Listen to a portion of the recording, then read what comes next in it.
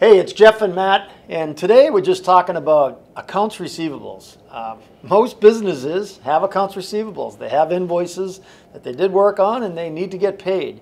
What's some advice you give to companies on how to optimize their accounts receivables?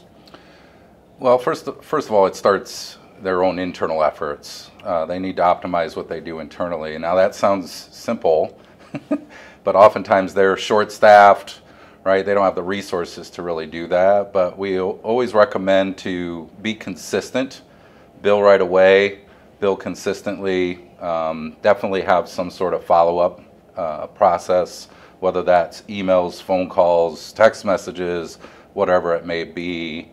And then timing is everything. So the more consistent they can be with that, the better, better they are. So, so have a process, like, like you said, consistency is key. So have a process on when you're gonna be billed, how you're gonna follow up, how many phone calls you're gonna make. Yeah, hundred percent. Yeah, and then, Time is, time is an issue for them, so, you know, they need to make that somewhat of a priority, because receivables is a, a big part of a business. it's the, it's the cash flow, and many times if they're out doing their jobs, they don't have time to worry about the bills and getting those out. But being consistent is key. At some point, the bills get old. They start to get ignored, or issues come up with consumers or businesses, and they, they're not getting paid. Then what?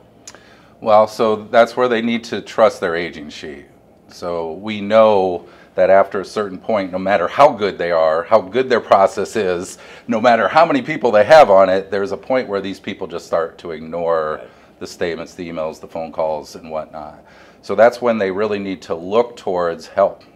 Um, you know, obviously, a third party is very helpful in that situation. We recommend start with something that's low cost. Uh, they need to look for someone who's very diplomatic. So, uh, you know, the two biggest concerns we hear over and over again is I don't want to pay a whole bunch to a third party and I don't want them to alienate my customers. So they'd rather keep working them internally, holding on to them. And that gets older and It- older. It gets older and harder and, and tougher to collect.